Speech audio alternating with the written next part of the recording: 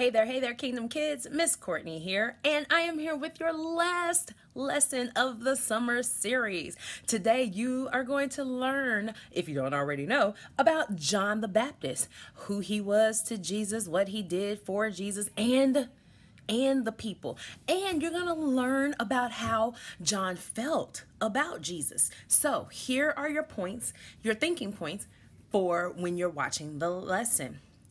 Now, John would get the people ready for who? And of course, we know this. John was Jesus's relative. He was his what? And you're going to learn that in the video as well. John says that he wasn't even worthy to do what for Jesus. He, he felt as though he wasn't worthy to do what for him. Okay? And then True or false? God spoke when Jesus was baptized. And you probably already know that answer. But there's nothing wrong with refreshing our brains. Alrighty, so you got those four things. John would get the people ready for who?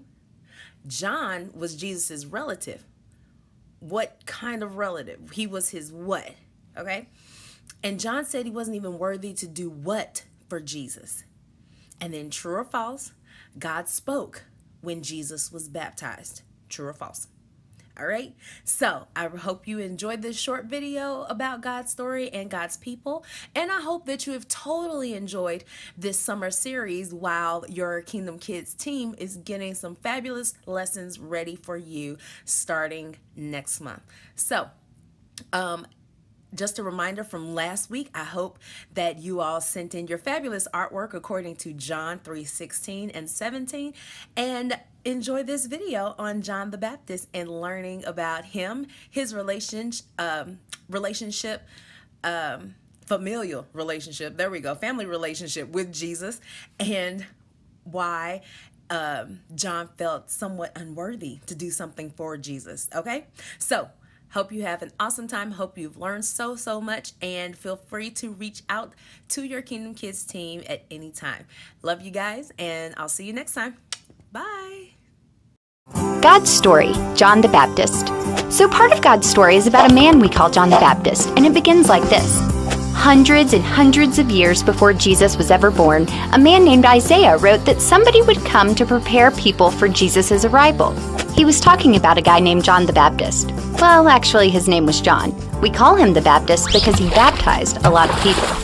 Anyway, before John was even born, an angel appeared to his dad and said, Do not be afraid, Zechariah. Your wife Elizabeth will have a child. It will be a boy, and you must name him John. He will be important in the Lord's eyes. John was important because he would get people ready for Jesus, who was coming to rescue us. Did we mention that John was Jesus' cousin? Pretty crazy, huh? Well, right from the beginning, John was a bit unusual. For starters, he spent the first part of his life in the wilderness. Maybe he slept on the ground and used rocks for pillows. Maybe he brushed his teeth with sticks. Maybe he used leaves as toilet paper. We don't know. All the Bible tells us is that he stayed in the desert until he started telling people about Jesus. Then, when he came back into civilization, he still seemed strange. He wore clothes made out of camel's hair and a leather belt. Imagine how itchy hairy clothes must have been. And for food, he ate locusts dipped in honey, just like he had eaten in the desert. You know what a locust is? It's a grasshopper. But don't worry, you don't have to eat bugs to follow Jesus. Anyway, John didn't come back from the desert to live like everybody else. He came back to teach people about Jesus. So he started telling everybody that God loves us so much, he's sending his own son to rescue us. This made a lot of people want to follow God and his son, Jesus. So, John began baptizing them. That's how he got his nickname. Kids, baptism is what we do when we decide to tell everybody that we're following Jesus. While John was baptizing and teaching, some people thought he might be the rescuer. He seemed really smart and he knew a lot about God. But John knew he needed Jesus to rescue him just like everybody else. So he said, Someone who is more powerful than I am will come. I'm not good enough to untie the straps of his sandals. John was making a point by talking about Jesus' feet. See, back then, everyone's feet were almost always dirty because they wore sandals, stepped in dust and camel poop, and didn't have showers. So when John said he wasn't good enough to untie Jesus' sandals, he was basically saying that he would feel lucky if he could help Jesus with his dirty feet. That's how much John loved Jesus. Well, even though John told everybody about Jesus, he was actually waiting for the rescue too. Then one day, he was baptizing people in the Jordan River. Jesus came to the shore and asked John to baptize him. Kids, remember how John thought he'd be lucky to help Jesus clean his feet?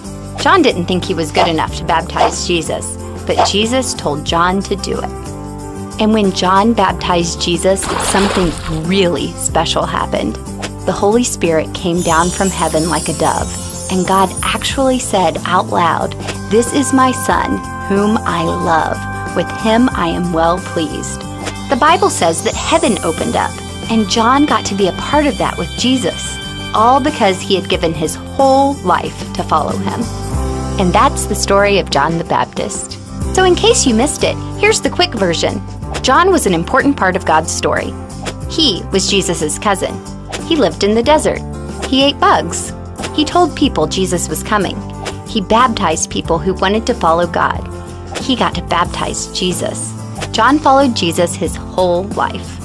And that's a part of God's story.